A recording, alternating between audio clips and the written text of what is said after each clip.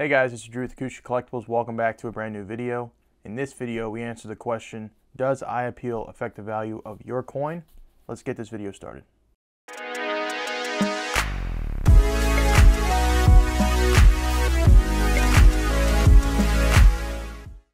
So in today's episode, we want to talk about eye appeal because it's an invaluable and important part of a numismatist's kind of walk with coins because it allows them to understand there is a huge value or a huge deficit in a coin that you can buy based on its eye appeal. And in today's video, we want to talk about the three things that I've always talked about, but it's more of a refresher video. Um, we talk about beautifully toned coins, we talk about blast white coins, and then we talk about ugly toned coins. What effects do they have? What coins have we sold that are beautifully toned? And can it help you in your walk or if you're wanting to start dealing coins? How can it almost help you market your coins better to collectors or other dealers that want to pick up your coins and put them in their showcase?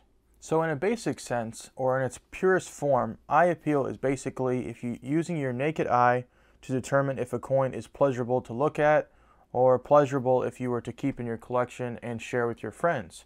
And so we want to talk about beautifully toned examples today because the question is when you see a beautifully toned coin like this one, does the colors pop out at you? Um, if it was in your hand and you could afford it, would you buy this coin? And so uh, when you're taking a look at this coin that we got from uh, Ohio Estates a few weeks ago, we shared it in their episode of their coin shop review.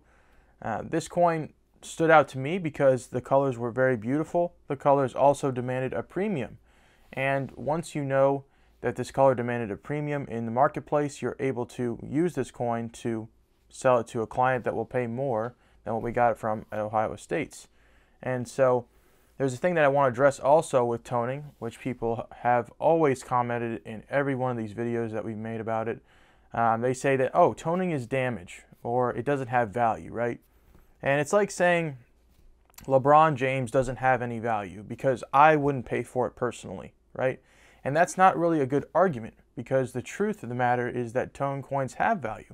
And the way that we know that is because there is a market out there for them where people pulled money out of their wallet, they put their credit card into an auction site, and they purchased a coin for well over gray sheet, double, triple, 10 times gray sheet because of the eye appeal of the coin. And so, like I said, if you are the person that says toning is damaged, that can be your opinion, but it doesn't make it a fact that they don't have any value. Uh, a thing that I want to highlight about the coin that we share with you, the tone coin, is that uh, we bought this coin I think for 925. So on its face, if you look at it, it's a Mint State 64 example. I mean, if it was a, blast white coin, it might have sold for $110 on a good day. Okay, so we paid $925 for this coin, and we ended up selling it for 1,400. So I don't want to go around and, and tell people, everybody, what I paid for a coin and what I've sold it for, but it's really just to drive home the fact that there is a market, there is people willing to pay a premium for coins that have eye appeal, that are beautifully toned. And that's just something that once you start to move into the space a little bit more, you'll start to acquire clients that enjoy beautifully toned coins, and you'll end up receiving higher margins than you normally would for other coins. And the best way to actually study this is looking at stacks, is looking at Legends Auctions, has really beautifully toned coins that have gone for a high price. You could also go to Great Collections. They have a beautiful auction archive of every coin that's ever sold on their website, and that will give you guys a great perspective also. But there is a nice demand in toned coins. The next group that we want to talk about is ugly toned coins. And the reason being is because, once again, we're trying to talk about the raw sense of the form of eye appeal. Is it attractive to your eye? Does it make you want to buy it? Is it something that you've never seen before? Would somebody else, the next owner, love it? Right? And so I'm going to show you guys a coin right now. This is a 1928S Walking Liberty half dollar. Okay? So on its face, would you pay double gray sheet for this coin? Would you pay triple gray sheet for this coin? Would you pay 10 times gray sheet for this coin? It's got toning, man. Don't you want it? It's beautiful. Well, if you use your naked eye, you would say, This is one of the most ugliest coins I've ever seen. It almost looks like it's on the brink of environmental damage. So when you look at a coin, you're under, able to understand its eye appeal when you compare it to something that's more beautifully toned, something that makes your mind go, wow, I would love to have this coin in my collection if I could afford it. And so when you're taking a look at coins like this, or if you're taking a look at standing Liberty quarters like this one, it's dingy, it lacks luster, the toning doesn't really add anything that would make your mind go, wow, that's amazing to the coin, and thus you wouldn't want it.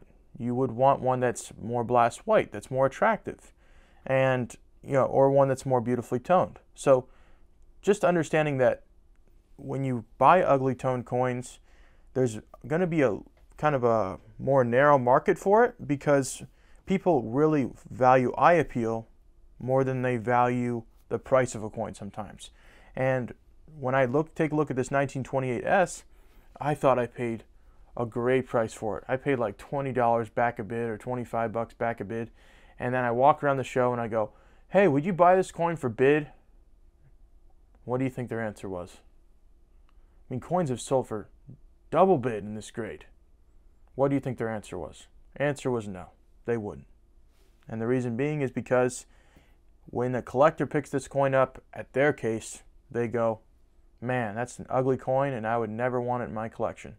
And so this coin is just going to sit in our box until one day I make $5 on it. So understanding why beautifully toned coins sell for a great margin and who you should uh, reach out to sell those to, but also knowing if you buy an ugly tone coin that's dark and you go try to market it to somebody, you could end up losing your butt on it. And so these two coins are a great, great example of why you shouldn't buy ugly tone coins and rather avoid them because they don't have the demand and they don't have the premium that beautifully toned or blast white coins have. So the last group that we want to talk about in today's video, which is really the backbone of numismatics, is blast white coins.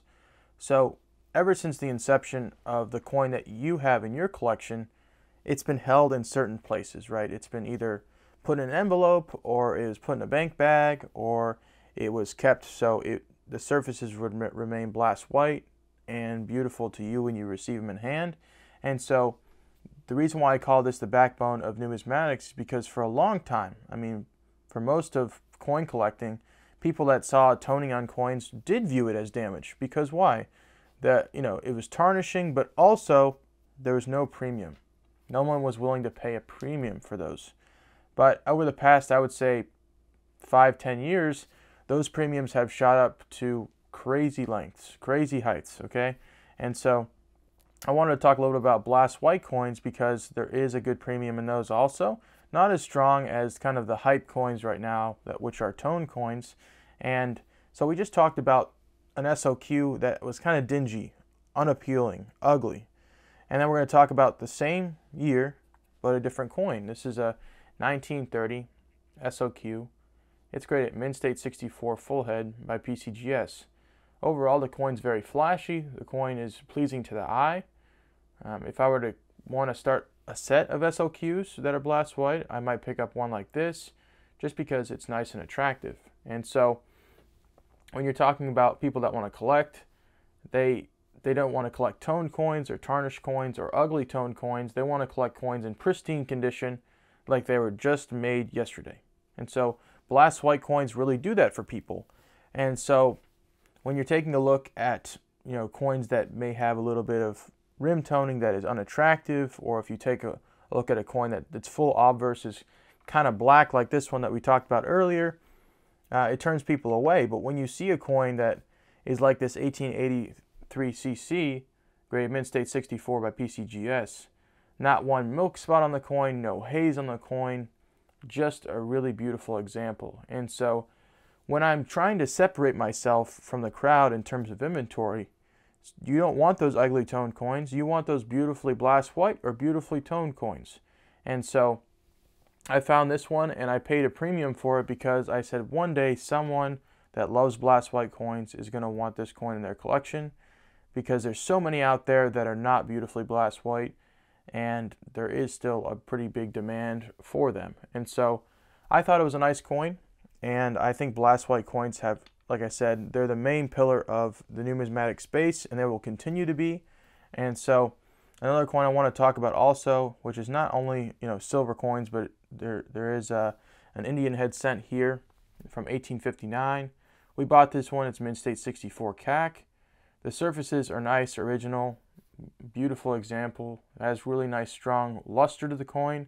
That's another thing that Blast White coins have that kind of pop out to you and say, wow, I would love to buy this coin because it has that strong luster. Nothing's breaking that luster. Nothing's breaking the, the surfaces of the coin, if you will. And so when I bought this coin, I was like, man, someone's going to love this because of the luster of the coin, because of its originality, and that's why CAC approved it. And so I hope this video was a little bit more of a understanding and helpful to you that if you do your research with auction comps, if you learn to not buy those ugly toned coins, but rather buy beautifully toned or beautifully blast white coins, you're going to end up seeing those margins maybe in your business slightly increase or massively explode because you're willing to look for those clients that are looking for those tougher coins to get with the eye appeal that they want. And so I hope you guys enjoyed today's video. If you guys did, make sure to leave a like. Comment your thoughts on these three groups uh, which ones have you fallen into or which ones have you benefited from? Uh, and subscribe if you're new because we're coming out with videos every single week talking about different things with coin dealing or collecting, or maybe some coin shows or coin shop reviews. So make sure to stay tuned for that. We will see you guys in the next video.